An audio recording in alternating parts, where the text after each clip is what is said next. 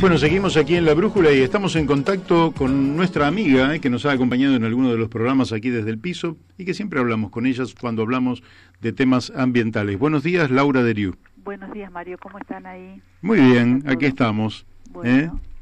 Hoy, te, hoy te queríamos hacer una consulta en particular porque parece que la multinacional Monsanto no puede instalarse en Río Cuarto, Córdoba. Bueno, ¿Nos- nos puedes contar algo? Sí, una larga lucha ahí contra esta, bueno, ahora Bayer, ¿no? Monsanto Bayer, que ha Bayer. sido comprada por, si es Bayer es bueno, Era. no tan bueno ahora. Eh, eh, bueno, sí, es, en realidad ha desistido Monsanto de un juicio que había iniciado eh, a, la, a la ciudad de Río Cuarto, en Córdoba, pero ya, pero- sí. Sí, sí. No, Mario, no. ¿me escuchás? Te escuchamos perfectamente. Ah, no, pensé que me estabas hablando, por eso, No. disculpame. Eh, bueno, bueno, Monsanto eh, había hecho un juicio contra el municipio de Río Cuarto, eh, que había eh, elaborado un decreto que le impedía instalarse. Entonces, este, en el rubro, en, en el fuero contencioso administrativo, había iniciado acciones judiciales. Eso es lo que ha, de eso es lo que ha desistido, de eso es lo que ha desistido Monsanto. Ajá. Viene con una historia porque eh, vienen la vienen corriendo de, de varios lugares Eh, el, el principal eh, el principal foco de conflicto fue en Malvinas en Córdoba en la ciudad de Ah, Córdoba claro. Sí, sí. eh, donde bueno eh, se hizo un, un piquete digamos no no directamente no llegó un momento que se hizo un campamento fueron muchísimas personas y directamente no podían entrar los camiones la gente le dijo no a la instalación de esa fábrica que se, que se, había fíjate vos qué, qué interesante no porque el color político eh, era diferente de todos los que actuaban en torno a este a esta instalación y el anuncio de esa instalación de Monsanto allí en Malvinas lo había hecho la expresidente Cristina Fernández de Kirchner desde Estados Unidos, desde Nueva York. Ahí hizo el gran anuncio y obviamente esa noticia no cayó muy bien porque ya veníamos con otro antecedente que era la lucha de las madres del pueblo de Ituzaingó, Claro. Ituzaingó anexo, donde habían se habían producido realmente eh, muchos muchas enfermedades y muchas muertes en torno a los agroquímicos o agrotóxicos. Esto había hecho movilizar a muchas personas, sobre todo mujeres, una de ellas Sofía Gatica, que fue muy conocida y que trascendió, incluso tuvo premios internacionales por, por, por su activismo. Ella había perdido inclusive una hijita que había nacido eh, a los pocos días de nacer, fallece por una insuficiencia renal del tipo eh, de, de teratogénica, o sea, había una, una malformación renal que no le permitía que no le permitió vivir. Bueno, después hicieron varios estudios en ese barrio Ituzaingó donde la gente te, padecía, mucha gente había muerto de cáncer y otros padecían de cáncer en, en proporciones enormes y mucho mayores a los que la media indica. De ahí viene la primera lucha. Cuando sucede esto en Malvinas, la gente se moviliza, ya estaba este antecedente e incluso la gente de Ituzaingó, con Sofía Gatica a la cabeza, es una de las que dice no, no queremos este tipo de eh, industrias, priorizamos nuestra salud, priorizamos nuestra vida e incluso ponen el cuerpo, son amenazadas, eh, son patoteadas y golpeadas por la patota en su momento de la UOCRA, eh, por eh, amenazas anónimas, en fin, eso generó un conflicto social muy grande y que además repercutió y trascendió las fronteras de, de no solo de Malvinas sino de Córdoba y de Argentina. Llegó a, a, a, hasta el lugar, llegó Manu Chao, llegó Robén, que es la francesa que hizo la película El Mundo Según Monsanto, Vandana Shiva, una, una bióloga hindú que también es una luchadora por estas causas. En fin, se transformó ese, ese lugar en un lugar de reclamo este, y de eh, exteriorización y de visualización de lo que había detrás de todo este modelo y de cómo pagan con su salud la gente. Eso generó apoyo cuando, obviamente, cuando, cuando eh, Monsanto intenta por todos los medios, además, además había un montón de irregularidades en lo que hace a la parte administrativa, no había certificados de aptitud ambiental, no había estudios de impacto ambiental, eh, no se cumplía con la Ley General del Ambiente, en fin, había un montón de irregularidades que también se tuvieron en cuenta eh, y finalmente la empresa desiste de instalarse en Malvinas, pero pretende hacerlo en Río Cuarto. Y en Río Cuarto es muy interesante porque en el intendente, que ya no es más, pero en ese momento eh, lo anoté el nombre porque es interesante el planteo que hace el intendente. Juan Juré, Juan Juré, un radical, que por decreto impide que esta eh, empresa se instale eh, en, Río Cuarto. Eh, y cuando sale finalmente es esta, esto que trasciende, que es la, bueno, la decisión de Monsanto de desistir de la demanda, eso sucede un 30 de octubre, ahora. Entonces Jure recuerda, miren qué casualidad, dice, justo hoy hace 36 años, de la recuperación de la democracia y esto me recuerda a Raúl Alfonsín. Y permítanme honrar a Raúl Alfonsín y a la democracia porque por decisiones eh, como estas, las que hemos tomado, que privilegian el interés general de los ciudadanos frente al interés particular, en este caso de una corporación de las características de Monsanto, nada menos. Eh, y esas palabras fueron las que a mí más me, me, llegaron, ¿no? Porque es, ese es el fondo de la cuestión. El intendente dice, esto genera un conflicto social, esto quita la paz social que, yo, que se necesita con, con los ciudadanos, con, con nosotros somos los representantes de esos ciudadanos, y esto va a traer este conflicto. Acá no lo quiero. Entonces prevalece eso, prevalece el interés general. Este, a pesar de eso, bueno, Monsanto eh, inicia acciones en el contencioso, pero que de las cuales finalmente eh, decidió desistir el 30 de octubre.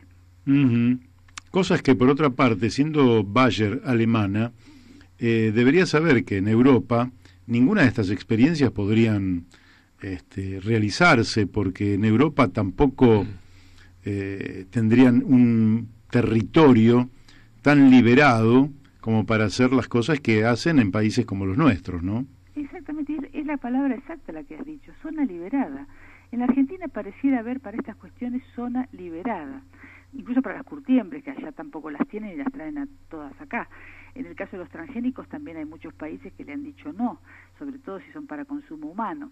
Ahora, mm. fíjate vos que eh, eh, es una de cal y una de arena, ¿no? Yo nunca supe bien cuál era la buena, la de arena o la de cal. Yo tampoco. Bueno, ponele que la de, arena sea la buena, este, pero la vamos a dejar para lo último, porque en este contexto también sucede otra cosa. fíjate vos, esto eh, en, en Córdoba, en Entre Ríos, en Entre Ríos, un decreto, un por decreto, Bordet, el, el gobernador, decide eh, aplicar, eh, o sea, restringir a nada más que 100 metros las aplicaciones de agroquímicos de zonas pobladas, específicamente de escuelas. Escuelas, ¿eh? estamos hablando. Una locura. etcétera. Entonces, ¿qué pasa? Bueno, obviamente se presenta, se presentan las personas afectadas ante la justicia, vía creo que fue un recurso de amparo, y, eh, y finalmente, eh, en primera instancia, la justicia le da la razón a la gente, a los demandantes.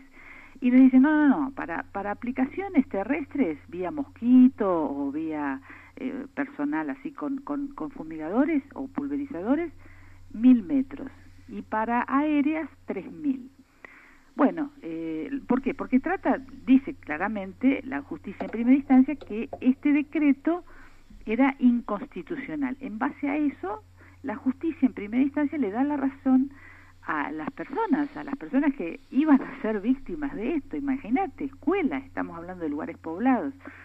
Bueno, eso se da en un, en un marco en el cual tanto el presidente de la Nación, saliente, eh, visitando Entre Ríos, califica también a este fallo eh, de inapropiado e incluso se queja porque no le dejan colocar fertilizantes a los productores, una, un disparate, porque no estamos hablando de, un fertilizante, estamos hablando de agrotóxicos, de agroquímicos, muchos de ellos han probado efecto cancerígeno.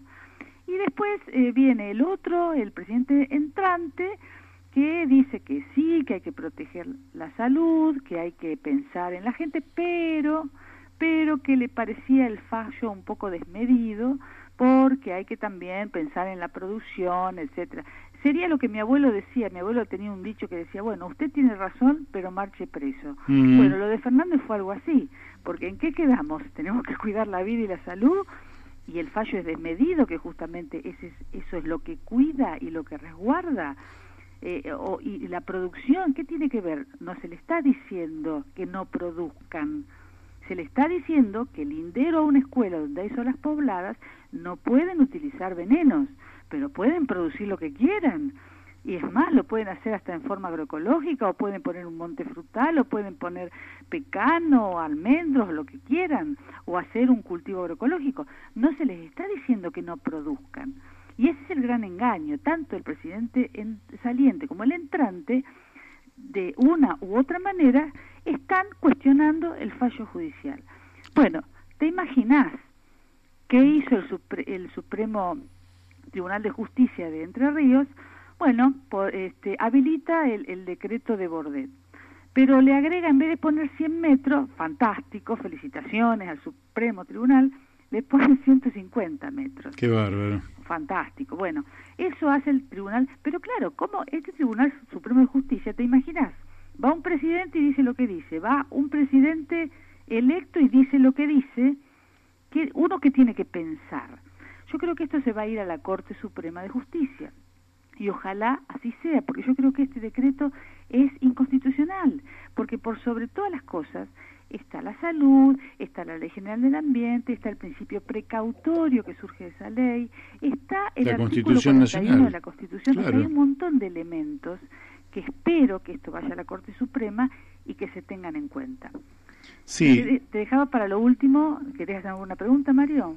Este, no, no, me parece que la vez pasada estuvimos hablando con el ingeniero Humberto Ramírez Arbo, que él contaba una experiencia muy concreta de alguien que tuvo que dejar de fumigar y cómo reconvirtió productivamente el, terreno del cual es propietario y, bueno, generando, por ejemplo, barreras con árboles y delimitando lo que era la zona rural de la zona urbana, eh, generando, lógicamente, zonas de amortiguación con otro tipo de producción. Eh, me parece que lo que está faltando en la Argentina es una actividad, un, digamos, una propuesta que eh, indique cómo hacer un uso de la tierra cada vez más inteligente, cada vez más ecológico, y cómo llevar adelante un proceso de cambio, porque de lo contrario lo que nosotros estamos actuando es como una colonia a la cual se le pide que provea porotos de soja a cualquier precio y a cualquier costo, y la colonia responde al mando del mercado. Con eso entramos en una trampa eh, donde la resistencia tiene su límite y donde habrá que discutir para adelante sobre la ocupación y el uso inteligente del suelo argentino. Por supuesto, y no te llama la atención que ningún candidato tocó ese tema y hizo ese planteo. No, porque produce dólares rápido la soja. ¿Eh? No, no, pero ni siquiera fue un tema de, de, debate, o sea, pasó así el tema ambiental. Los únicos que dijeron tres cosas muy claras al respecto fue la izquierda, el frente de la izquierda, pero después los demás, realmente un papelón. Y, y cuando eh, eh, somos realmente, no sé, la oveja negra, porque en todo el mundo se está hablando de estas cuestiones, menos en la Argentina. Evidentemente, si no lo dicen, es porque el tema no les interesa porque evidentemente hay lobbies que están actuando y que son muy fuertes, muy fuertes, y yo creo que están actuando adentro del Congreso. También hubo reuniones con, con bioseres, bueno, y un montón de cositas interesantes que dan para otro programa. Pero ahora te voy a dar la que supuestamente es buena, que es la de arena. Eh, finalmente, después de mucha lucha, de mucho andar y también de no ser escuchadas, de no ser tenidas en cuenta, otra vez madres, mujeres, en lucha en la ciudad de Pergamino, lograron finalmente que productores de esa ciudad fueran procesados por contaminar con agrotóxicos. Esto es un fallo histórico y que es interesante tenerlo en cuenta del juez Villafuerte Ruso en la ciudad de Pergamino, que consideró a estos penalmente responsables del delito de contaminación ambiental, generando problemas de salud en poblaciones cercanas a sus campos donde fumigaban y pulverizaban, ese es el término correcto, con sus agroquímicos. Bueno, hay antecedentes de enfermedades de todo tipo, etcétera, en, personas afectadas en tres barrios.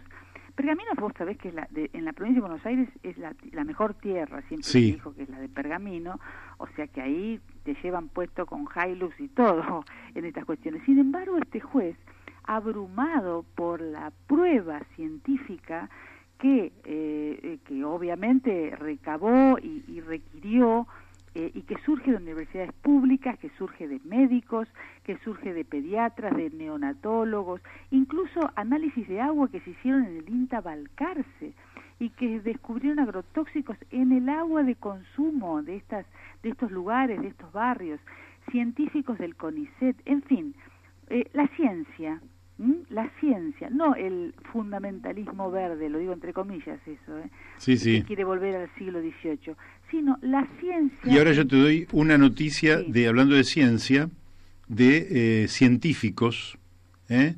del Airwatch Institute que plantearon que las abejas son el ser vivo más importante del planeta y que casi el 90% de la población ha desaparecido en los últimos años.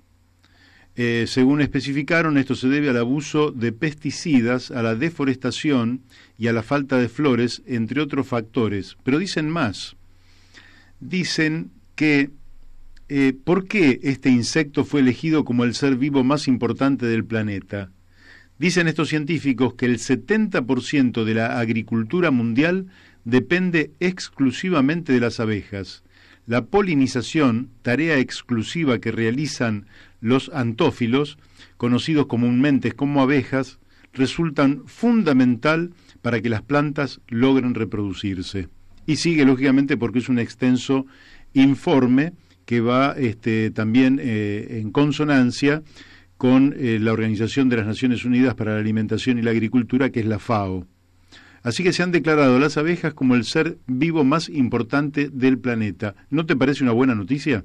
Me parece una excelente noticia en tanto y en cuanto eh, los señores políticos y los señores jueces también eh, lo tengan en cuenta, porque si nosotros priorizamos la codicia y el interés económico por sobre nada más ni nada menos que los alimentos, porque las abejas de ellas depende eh, eh, la polinización y comer alimentos. Así es. O sea, vos lo has dicho recién. Entonces, hay que poner las cosas en su lugar.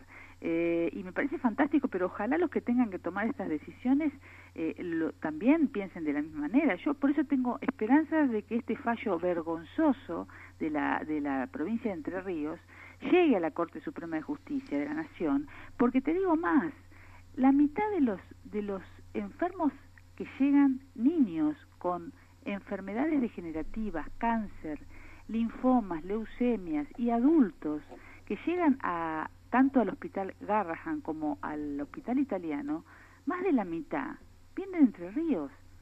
Y esto es una estadística que han hecho y que han presentado inclusive la gente que hizo el amparo como una prueba. Claro. ¿Cómo puede ser esto? Esto, esto es casuística pura, lo están haciendo los médicos, lo están mm. advirtiendo. Entonces, ¿En qué se basa la, la Corte de Entre Ríos para, para habilitar un decreto que permite envenenar a 100 metros de una escuela? Envenenar, pues ya no estamos hablando de, de tirar, no sé, urea eh, o un... No, no, eh, eh, agroquímicos. Así es. o sea, a ver, se entiende lo que digo, o sea, ya hay mucha información, Mario, y esto ya no se puede tapar más porque no lo van a poder tapar ni con publicidad, eh, ni con plata. Yo escuché en esos programas del campo y es increíble, ¿no? Hablar al intendente y decir que el agua estaba fenómena, que eso era mentira. ¿Sabes cuántos agroquímicos detectaron en el agua de esos barrios? No, no sé. Más de 18. Claro. Más de 18 agroquímicos, ¿eh? de los cuales casi la mitad eran cancerígenos el agua no era apta para consumo humano y el intendente se cansó de decir que el agua estaba fenómena. Bueno, están procesados, ¿eh? no sé si el intendente, pero están los productores embargados por 3 millones cada uno.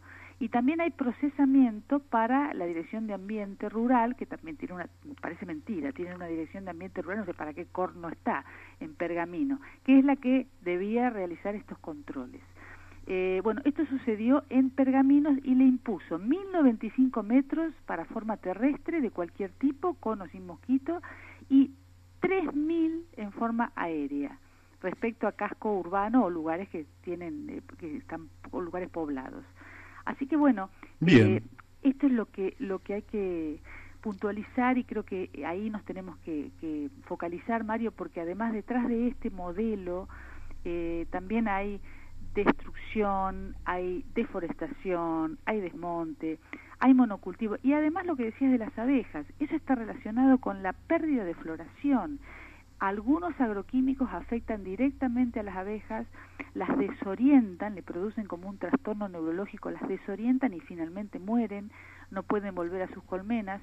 Eh, en el caso de la floración, obviamente, al no haber floración, no va a haber miel y también se compromete la vida y la supervivencia de las abejas. Y hasta se ha descubierto, ahora parece que hasta un virus que lo están investigando que también las afecta y no se sabe bien si es un virus o si es también algo relacionado con todo este ecocidio que se está dando y al cual le tenemos que poner un freno, gobierne quien gobierne. Así es. Bueno, eh, Laura, te agradezco muchísimo eh, este, tu intervención aquí en La Brújula y como siempre seguiremos en contacto. Bueno, gracias Mario, saludos a Daniel ahí. Chao Laura, un gusto. Chao, chao. Bueno, hasta siempre. Hemos hablado con Laura Deriu eh, sobre estos temas que tienen que ver con la vida, nada menos, nada menos. Ayer lo escuchaba Enrique Dussel y, y el hombre hablaba de la cuestión del valor y las malas interpretaciones incluso que había sobre Carlos Marx. Pero para Marx la vida humana solo es dignidad, no es valor, solo es dignidad. Eh, no tiene un valor como podría tener alguna otra alguna mercancía. Entonces, la fuente de todos los valores es la vida humana. Pero cuando desaparece la vida humana, desaparece todo. Entonces, este, lo que está ocurriendo es que nosotros, como sociedad, sobre la base de la avaricia, ¿eh? de la acumulación de, billetes, de dinero, de plata, eh, terminamos destruyendo el ambiente eh, que nos da posibilidad de vivir. Entonces esto es un acto suicida, es un acto de locura que tiene el capitalismo, al cual se lo defiende como si estuvieran defendiendo algo realmente. capitalismo ya está, ya lo que podía dar lo dio y es el pasado. En el futuro no hay capitalismo capitalismo hay que ir circunscribiéndolo a áreas de mercado cada vez más chiquitas. ¿Para qué? Para que pueda aflorar la vida. La tarea de los seres humanos es multiplicar la vida sobre el planeta y la tarea del capitalismo es acrecentar las ganancias de unos pocos, sacrificando la vida de los demás. Así es.